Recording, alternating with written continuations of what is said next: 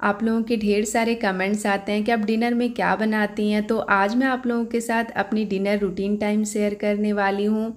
सारी चीज़ें कैसे होती हैं, मैं कैसे मैनेज करती हूँ और आज संडे है मतलब ये कल का ब्लॉग है। जनरली वीकडेज़ में और वीकेंड में ऐसा नहीं होता है। टाइम के अकॉर्डिंग और काम के अकॉर्डिंग रूटीन चेंज होती रहती है, ये वीकेंड है। तो अभी बज रहे हैं शाम के साथ मैं आ गई हूँ किचन में और बहुत ही अच्छा मौसम हो रहा था। चूँकि मैं कल ही मशरूम लेकर के आई थी और मशरूम क्या होता है ना कि अगर आप एक दो दिन छोड़ दो ना तो धीरे धीरे ख़राब होने लगते हैं, काले पड़ने लगते हैं। और मुझे बिल्कुल भी टाइम नहीं मिल रहा था, घर में साफ़ सफ़ाई हो रही थी, पेंटिंग वेंटिंग लगा हुआ था तो मैं बना नहीं पा रही थी। इनफैक्ट मशरूम बनाना तो बड़ी बात है, मैं प्रॉपर खाना पीना भी नहीं बना पा रही थी तो मुझे लगा अभी मैं मशरूम बनाती हूँ, क्योंकि आज नहीं बनाई तो ख़राब हो जाएगा। आप लोगों के घर में साफ़ सफ़ाई हो गई, मुझे ज़रूर से कमेंट करके बताइएगा।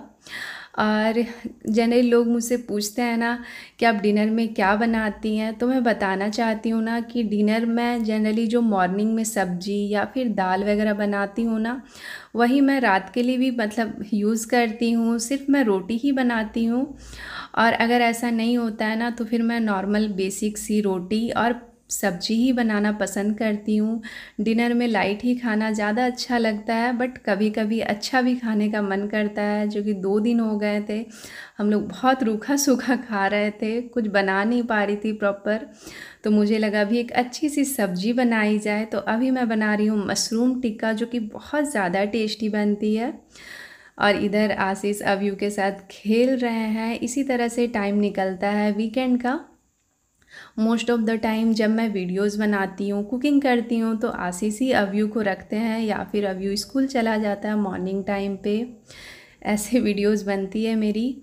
और सबसे पहले मैंने यहाँ पर दो चम्मच दही ले लिया है। उसमें मैं हल्दी, धनिया पाउडर, जीरा पाउडर, गरम मसाला, भुने हुए जीरे का पाउडर और हींग डाला है मैंने, साथ ही चाट मसाला, कश्मीरी लाल मिर्च पाउडर और सरसों का तेल ऐड करेंगे एक से डेढ़ चम्मच, साथ ही नींबू का रस ऐड करेंगे इसमें। और उसके बाद जो अदरक, लहसुन और मिर्च मैंने यहाँ पर कूट के रखी थी ना, वो मैं अब इसमें ऐड कर दूँगी। साथ ही साथ अब हम क्या करेंगे ना कि इसमें बेसन ऐड करेंगे, इससे बहुत ही अच्छी बाइंडिंग आती है। तो एक से डेढ़ चम्मच मैं यहाँ पर बेसन ऐड करूँगी। और ये सब्ज़ी आप एक बार ज़रूर से ट्राई कीजिएगा, बहुत ज़्यादा टेस्टी लगती है खाने में। मैंने सोचा था कि मैं लंच में बनाऊँगी, बट मैं बना नहीं पाई। और यहाँ पर सारी चीज़ों को अच्छे से मिक्स कर लेंगे। और इधर आशीष आटा गूँथ रहे हैं। और जो मशरूम है ना, उसे भी मैंने अच्छे से धो लिया था। स्टार्टिंग में ही मैंने मशरूम को अच्छे से पानी में डाल करके छोड़ दिया था तो ये अच्छे से भीग गई तो इसे धोना बहुत ही आसान हो गया। तीन से चार बार मैंने इसे धो लिया, मशरूम एकदम क्लीन है। बहुत लोग क्या करते हैं ना, ऊपर की स्किन हटा देते हैं। अगर ख़राब हो तो आप हटा सकते हैं अदरवाइज़ क्लीन हो तो फिर इसे हटाने की ज़रूरत नहीं पड़ती है। मशरूम को मैंने यहाँ पर जो दही वाला मिक्सर था ना, उसमें मैंने अच्छे से मैरिनेट करके रख दिया है।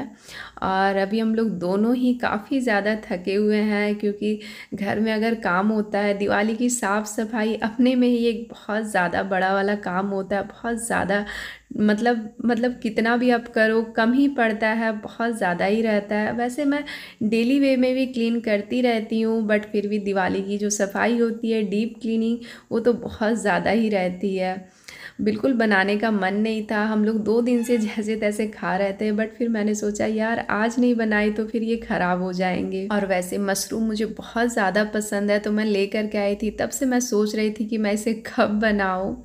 तो मैंने इधर कढ़ाई चढ़ाई है, उसमें मैंने डाला तेल, साथ ही साथ एक चम्मच के करीब बटर ऐड किया है। चार से पाँच काली मिर्च ऐड करेंगे, दो लौंग और एक छोटे साइज़ का दालचीनी टुकड़ा और साथ ही तेज पत्ता और जीरा ऐड किया है मैंने। उसके बाद मैंने यहाँ पर दो प्याज लिए छोटे साइज़ के, बहुत बड़े नहीं थे। बारीक मैंने यहाँ पर इसे चॉप कर लिया है।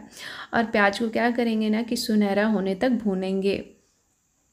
साथ ही साथ जो अदरक और मिर्च, लहसुन जो मैंने इधर कूट के रखा था ना, वो भी मैंने इसमें ऐड कर दिया है।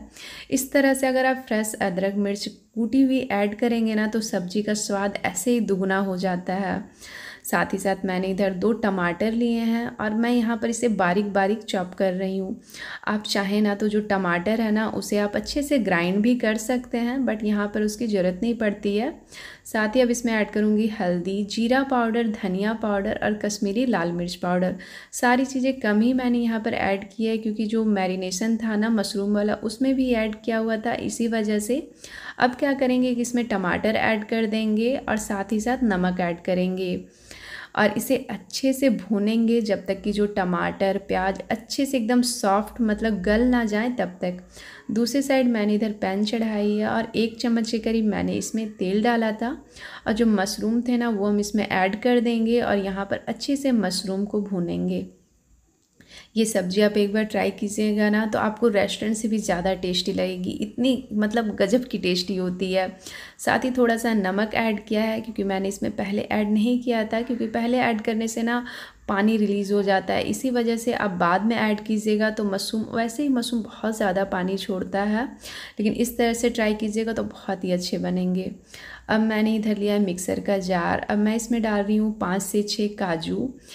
और क्या करेंगे ना कि काजू को ऐसे ही सूखा ही ग्राइंड कर लेंगे। पाँच छः नहीं थे छः सात थे, शायद आठ भी हो सकते हैं। और जब ये अच्छे से ग्राइंड हो जाए ना, सूखा ही तो उसमें मैंने ऐड किया है एक चम्मच दूध की मलाई। आप चाहें तो दही भी ऐड कर सकते हैं, नहीं हो तो स्किप भी कर सकते हैं। पानी ऐड किया है थोड़ा सा और इसे अच्छे से ग्राइंड कर लेंगे। स्टार्टिंग में जब आप काजू मतलब ग्राइंड करें ना तो ऐसे ही ड्राई ग्राइंड करें, नहीं तो पानी ऐड कर देंगे ना तो अच्छे से वो पिसती नहीं है। यहाँ पर जो मशरूम अच्छे से भुन गई है तो हम क्या करेंगे कि इसे प्याज वाले मतलब ग्रेवी में ऐड कर देंगे। साथ ही पैन को मैंने यहाँ धो करके थोड़ा जो भी पानी उसमें लगा हुआ था, वो मैंने इसी में ऐड कर दी है। और जो काजू और मलाई वाला जो हमने अभी पेस्ट तैयार किया था ना, वो भी हम इसमें ऐड कर देंगे। और देखिए यहाँ पर जो सब्ज़ी है, कितनी ज़्यादा टैम्पटिंग लग रही है। तीन से चार मिनट तक के लिए इसे ऐसे ही छोड़ देंगे और उबलने के लिए और लास्ट में मैंने इसमें ऐड किया, कसूरी मेथी। अगर आपके पास फ्रेश हरा धनिया हो तो ज़रूर से ऐड कीजिएगा। मेरे पास नहीं था तो मैंने ऐड नहीं किया। और ये सब्ज़ी देखिए, कितनी ज़्यादा लजीज लग रही है। मुझे ऐसा लगा स्टार्टिंग में कि इसमें मशरूम की कमी हो गई है ग्रेवी ज़्यादा हो गया है। बट ऐसा नहीं था, जब खाने लगे तो अच्छा हो गया था। आप चाहें तो इसमें थोड़े से और मशरूम ऐड कर सकते हैं, इतने से ग्रेवी में। आशीष पहले ही आटा गूँथ करके रख दिए थे तो मैं यहाँ पर रोटियाँ बना रही हूँ और आज अब मुझे ऐसा लगा कि आटा थोड़ा सा ज़्यादा गीला हो गया है। रोटियाँ बनाने में थोड़ी सी मुश्किल हो रही थी मुझे और बहुत लोग पूछते हैं ना कि आपकी रोटियाँ तवे पे कैसी फूलती है? तो आप स्टार्टिंग में क्या करें ना कि तवे में थोड़ा सा सूखा आटा छिड़क दे, उससे क्या होगा ना, जो रोटियाँ हैं ना, वो चिपकेंगी नहीं तवे में और फ्लेम को मीडियम ही रखें, एकदम गर्म ना करें, नहीं तो क्या होता है कि जैसे ही आप रोटियाँ डालेंगे तवे में और वो चिपक जाती है। वैसे देखने में भी अच्छी नहीं लगती है और रोटियाँ फूलती भी नहीं है। फिर आप अच्छे से कपड़े से दबाते हुए इसे फुला लें। बहुत ही अच्छी से रोटियाँ बन जाती है। और जब भी आप आटा गूँथें ना तो उसे पाँच से सात मिनट तक के लिए ज़रूर से रेस्ट में रखें। उससे रोटियाँ और भी अच्छी सॉफ्ट बन करके तैयार होती है। और इधर अव्यू सारी की सारी रोटियाँ लेकर के भाग रहा है। मतलब चार पाँच रोटियाँ उसने उठा ली। और वो क्या करता है ना कि इधर उधर घर में जा कर के फैला देता है। अव्यू का डिनर हो गया है। और अव्यू इस तरह की ग्रेवी वाली सब्ज़ियाँ नहीं खाता। है इस तरह की क्या वो किसी भी तरह की ग्रेवी वाली सब्ज़ियाँ बिल्कुल पसंद नहीं करता है। मैं उसके लिए जनरली कैरेट या फिर भिंडी की ड्राई सब्ज़ी बनाती हूँ। आई होप वो जल्दी से ग्रेवी वाली सब्ज़ियाँ भी खाना स्टार्ट कर दे। और जो बाकी की रोटियाँ हैं ना, मैं उसे ऑडी यूनी रैप में रैप करूँगी ताकि ये सूखे ना। और आज मैंने थोड़ी सी ज़्यादा रोटियाँ बनाई है, क्योंकि कुछ भी इस तरह का स्पेशल सब्ज़ी हो ना तो रोटियाँ ज़्यादा ही खाई जाती है। इसी वजह से कैसी लगी आज की वीडियो, मुझे ज़रूर से कमेंट करके बताइएगा। आप लोगों के ढेर सारे प्यारे प्यारे कमेंट्स आते हैं, पढ़ करके बहुत ज़्यादा खुशी होती है। और वीडियो पसंद आए तो प्लीज़ इसे लाइक कीजिएगा मेरे मोटिवेशन के लिए। मैं मिलती हूँ नेक्स्ट व्लॉग में, तब तक के लिए bye bye take care happy Deepavali, साफ़ सफ़ाई।